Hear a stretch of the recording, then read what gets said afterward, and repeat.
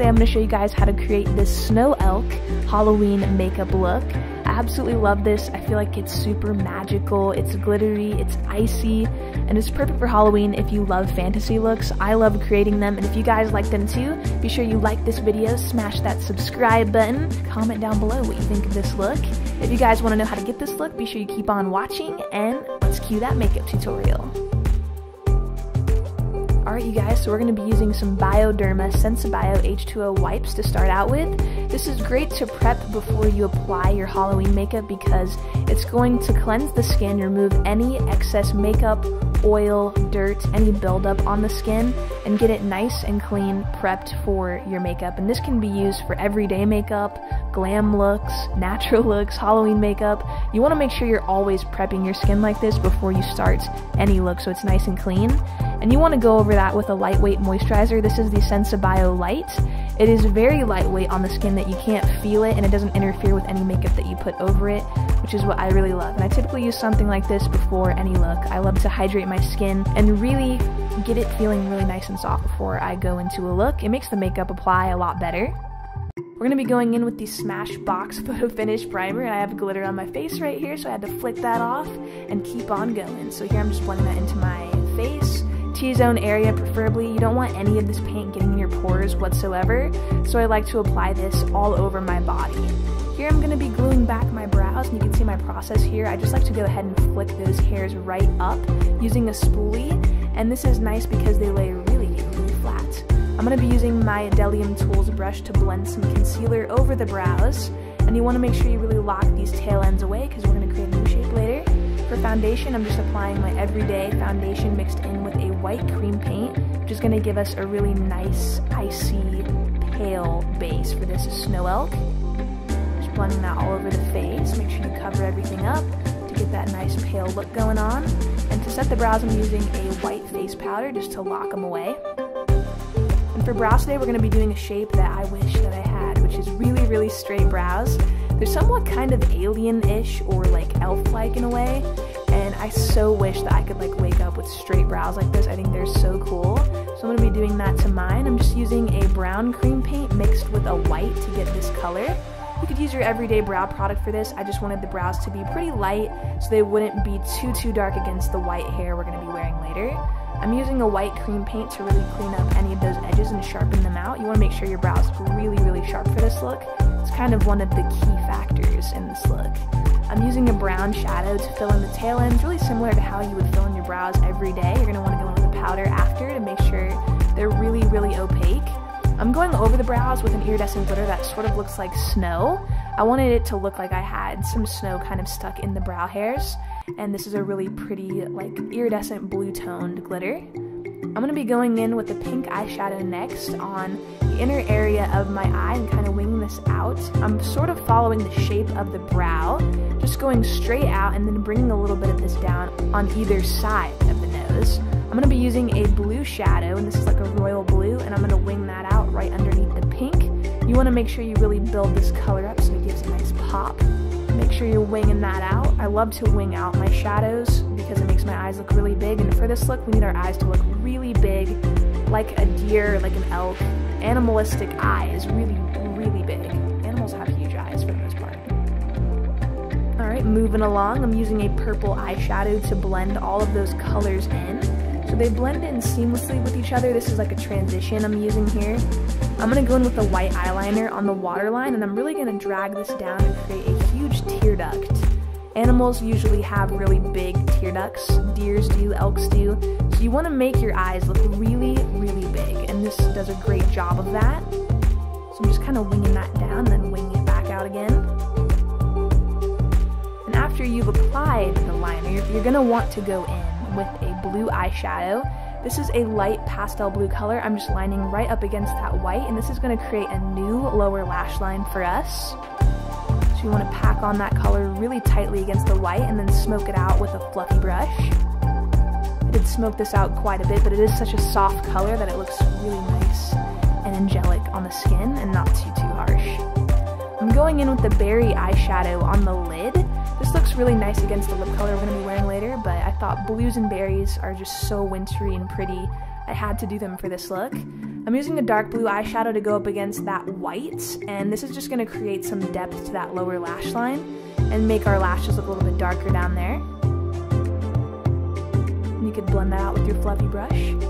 So here I'm going to create these branches that I wanted to look like were covered in snow, so all I used was a white water activated paint and a thin brush to create these and you can kind of swirl these around however which way you want. I did add in a few extra towards the end of the look which you guys will see but they're actually really simple and easy to do and really fun. You can kind of get a little ahead of yourself with these and do a lot of them if you're not careful but I felt like I didn't have enough so I'm going to add some more later. I did add some underneath the eyes as well. I thought they were just really pretty and just very snowy. So I'm going to go ahead and use some blue eyeshadow to really shade out these branches and make them look three-dimensional. I love this color because it almost gives such a wintry effect to the whole look, and it's the same color we used on that lower lash line, right up against the white. I'm just shading everything out, gives it some nice dimension there. So you want to apply some mascara before any lash that you apply, and here I'm going to be using these, which are awesome. I think they are so, so pretty. I'm so obsessed with them. They're nice because they have the tips of them are covered in an iridescent and silver glitter, so they look like snow is kind of just on the tips of your lashes. They're not completely frosted, which I really like with most lashes that you find like this. The whole thing is like white, but these have a black base, so you can still see that there's a lash there. And there's top and bottom ones, so I stuck both of them on. And to thicken up that lash line, I went in with a black eyeliner in the top waterline. This made my lashes look a little bit heavier and thicker. Here I'm going to be using a white powder just to set the face and lock everything in as well as brighten. And for the nose contour, you want to make sure you do this because it's an important step. With any animalistic look, you want to make sure you got that nose going on. So I just used a pink shadow to do this. And I really blushed out the tip of the nose to give it a sort of cold feel, like my nose, you know, was a little bit pink from the chill. And here I'm using a highlight to brighten up the center area of the face and add some luminosity to this look and make it look a little bit less matte and more shiny and what you would look like if you were out in the snow. Just a light glisten to the face. Kind of gives it a more magical feel as well. So here I'm applying some glitter to the chin, to the cupid's bow, and to the nose. This is going to look a little bit like frost is sitting on the face. And this is the Violet Voss Wendy glitter. You want to apply that pretty much all over the face. Just gives a beautiful snow-like look. And for blush, I'm going to be using a baby pink blush to really rosy up these cheeks. Similar to the color your face would look like if you were like outside and it was cold. Your cheeks would naturally flush like this. And here I'm going to be applying this color lipstick that I actually switched up to a more vampy color. I felt this one was a little too pink, so I applied a berry color right over it, which I thought was so perfect for this look. It's just a beautiful winter shade. I love it. Apply some glitter over the lip as well. And for the body, we're just going to be painting our chest completely white with a white cream paint. You want to get down while you do this? Yes. And I'm just applying this like all over my chest wherever I'm going to have skin showing. So whatever costume you're wearing will dictate how much you need to paint. I'm going to be using a dark blue eyeshadow to really halo out the body. We're just going to be going around the body with the blue. First, this is going to add some, some depth and some fantasy to this look. To add those colors in that we have going on in our eyes, we're going to add them to our chest. Here I'm using that light blue, and then I'm going to go over that with a pink shadow, and that's the one we used on our eyes. You can see there. It's really cohesive with the eyes, which I love.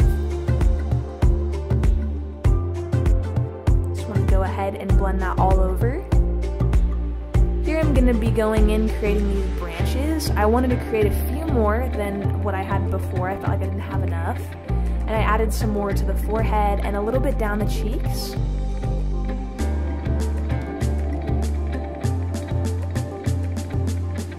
And you want to make sure after you add those in that you go in and shade them as well.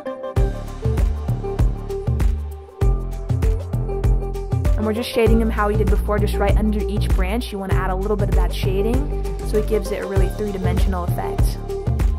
Here I'm creating those branches on the neck. I just did this on either side of my neck. And I'm just swirling these around in every which way. It kind of gives the look of a natural branch. There's no right or wrong way to do it really. They're kind of all over the place, which is really cool and magical. And I'm going up underneath them with that blue shadow again and pressing some glitter all over the chest to add a nice frost to the look. For the hair, I ended up wearing this white wig, but I'm to take it off because I almost forgot that I actually made some prosthetic little ears for this look out of latex. And they're skin colored. I'll show you guys what they look like. They look so realistic when you apply them, it's crazy. They look like this. I created two sets of them just using some liquid latex. And I went in and applied them using a bit of Pros-Aide. My mom wanted to blend these for me. She was like, Can I blend that? I'm like, Sure, go ahead. She blended in the tips of them for me, and then I went ahead and stuck them on really good so that they wouldn't move. I'm just using a q-tip and some more latex to do this. And I went over with a white cream paint to blend it into the skin color that I had going on. And for the wig, I wasn't sure what to do with it at first, so I put it up and I actually loved the way it looked, popped on my horns, and used a bit of this white hairspray to blend my dark hair into the wig because it was showing a little bit when I put my hair up. You can go ahead and adjust the wig so that you can see the ears really good and I love, love these horns. I think they're so awesome. I actually dipped them in some glitter to get this look. I'm going to be applying my contacts. I chose a pair of periwinkle ones for this because I felt like it went really well with all these berry tones we had going on. And I applied some of my extensions I have lying around. They're like braided unicorn extensions. And then a little bit of pink on the nose. And the look was complete. I hope you guys loved this icy winter snow elk